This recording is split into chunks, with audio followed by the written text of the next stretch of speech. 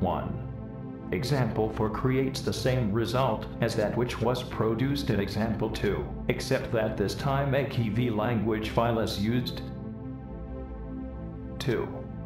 A KV language file creates widgets and defines their behavior.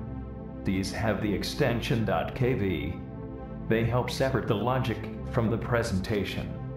However, it is possible to do everything with Python at the expense of having more code and harder to follow logic. 3. A main KV file is always searched it has the same name as the app subclass, except there is no ending app in it and everything is lowercase. Additional KV files may be loaded with the help of the builder class. 4.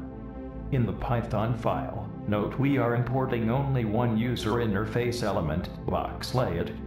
We will create a class which will inherit the functionality of boxlayout. This class is called the root class.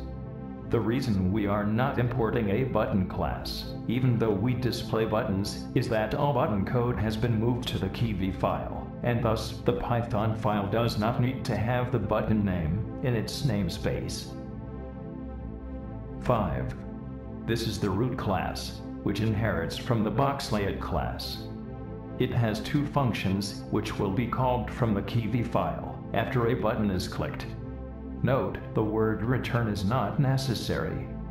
You might put blank lines instead of return to make its meaning clear. 6. The application class just returns an instance of the root class. 7. The main code is same as before. If you run the program, you can see that the app name is Hello World all in lowercase 8. The KV file defines a rule for our root class. All rules are in the angle brackets. Since my box class implements the functionality of box layout, the buttons are arranged horizontally, the default orientation. Buttons have different properties. We define two here, the text and on press. The text indicates what is displayed. The on press is called whenever a click occurs on the particular widget. The right-hand side calls either the hello or the world function of the root class.